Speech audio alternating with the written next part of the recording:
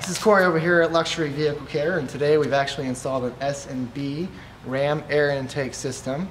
Um, this system here is complete turbo forward. It is designed to use the original equipment for the mass airflow sensor and the map sensor in this. Um, it does have a much larger filter, which is supposed to produce 48% uh, additional airflow. Now the kit we installed here today actually has the RAM air system on it here, down in the bottom, which is due to pressurize the box and help incoming force air.